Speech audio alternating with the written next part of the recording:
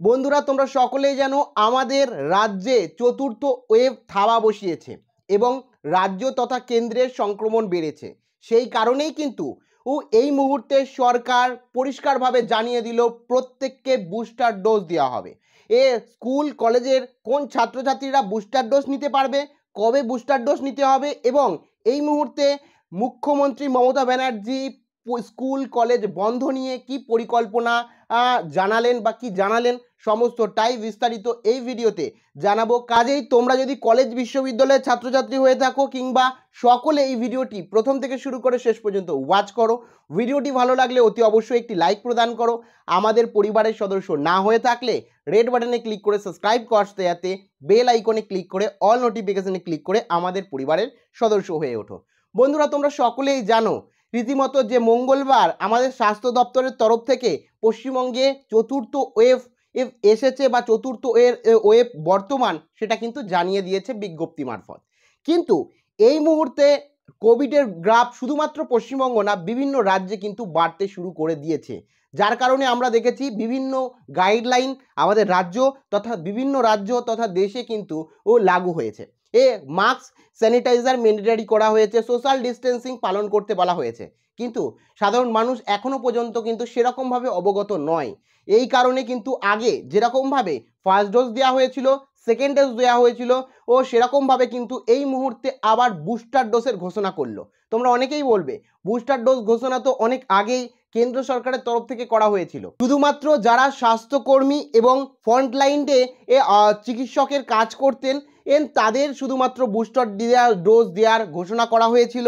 রাজ, কেন্দ্র সরকারের তরফ থেকে। একই সাথে যারা ষাট বছরের ঊর্ধ্বে ছিল বয়স, তাদের এর অ্যাকচুয়ালি বুস্টার ডোজ দেওয়ার ঘোষণা করা হয়েছিল। এরকম মোট ষোলো কোটি মানুষ ছিল, যার মধ্যে প্রায় ষোলো শতাংশ ব্যক্তি কিন্তু এই বুস্টার ডোজ নিয়েছেন। এখনও অনেক বাকি রয়েছে। এছাড়া যে হারে কোভিড বাড়ছে সেই অনুযায়ী কিন্তু একটা ঝুঁকি রয়েছে আমাদের রাজ্য তথা দেশে। সেই কারণে কিন্তু স্বাস্থ্য দপ্তর সহ একাধিক বিষয় কিন্তু উঠে আসছে। সেই কারণে কেন্দ্র সরকারের তরফ থেকে পুনরায় আবার লাগু করা হলো বুস্টার ডোজ সকল মানুষের জন্য। যারা এই মুহূর্তে আঠেরো বছর পেরিয়ে এসছে, আঠেরো বছর থেকে উনষাট বছর পর্যন্ত। আঠেরো বছর থেকে উনষাট বছর পর্যন্ত প্রত্যেকে এ পনেরোই এই জুলাই থেকে পঁচাত্তর দিন ইন কিন্তু এই বুস্টার ডোজ নিতে পারবে।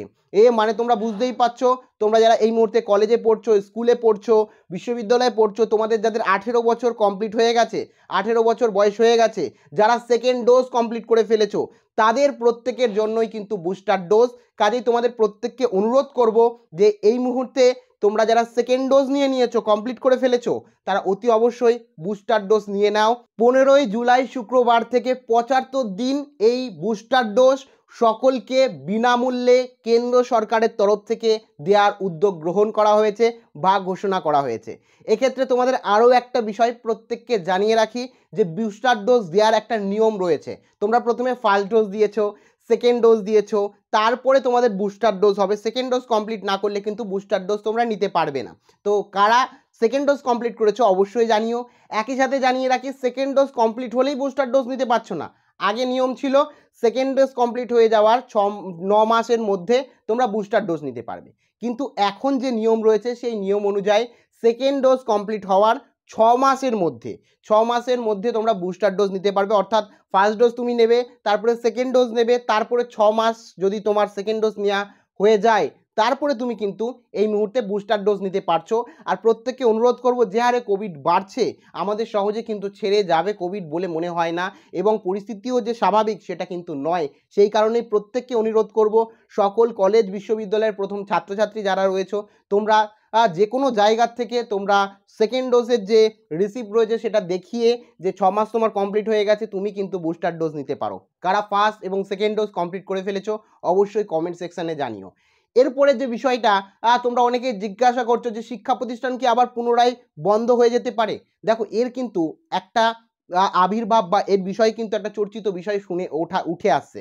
তোমরা সকলেই জানো যে কিছুদিন আগেই স্কুল খুলেছে, বেশি দিন হয়নি, কলেজ খুলেছে। এ এবং কলেজে ফুল দমে কিন্তু সেরকমভাবে চালু হয়েছে এটা আমরা কেউ বলতে পারি না। কারণ কোথাও দেখা গেছে, একদিন কোথাও দেখা গেছে দুদিন সরকারি বিজ্ঞপ্তি আসলেও পুরোপুরিভাবে এই কোভিডের কারণে কিন্তু শিক্ষা প্রতিষ্ঠান, কলেজ, স্কুল, বিশ্ববিদ্যালয়, মাদ্রাসা চালু হয়নি।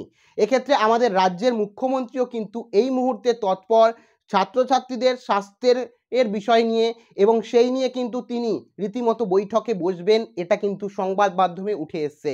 কাজেই এই মুহূর্তে পরিস্থিতি যদি আরও একটু খারাপের দিকে যায় না তাহলে শিক্ষা প্রতিষ্ঠান আবার পুনরায় বন্ধ হয়ে যেতে পারে।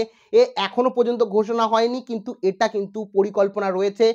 মুখ্যমন্ত্রী কিন্তু এই কোভিডের কারণে উদ্বেগ প্রকাশ করেছেন এবং একাধিক জায়গা থেকে বিভিন্ন খারাপ খবর আসায় কিন্তু বাধ্য হচ্ছে এই ধরনের পরিকল্পনা করতে।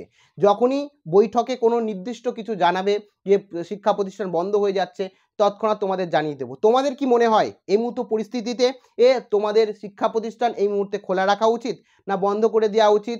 ঈদ তোমাদের মতামত অবশ্যই জানিও এবং তোমরা কমেন্টে জানাও কাদের সেকেন্ড ডোজ কমপ্লিট হয়ে গেছে এবং ছ মাস কমপ্লিট হয়েছে। সেটাও কমেন্টে জানাতে প্রত্যেকেই ভুলো না। ভিডিওটি বন্ধুদের সাথে অবশ্যই শেয়ার করো।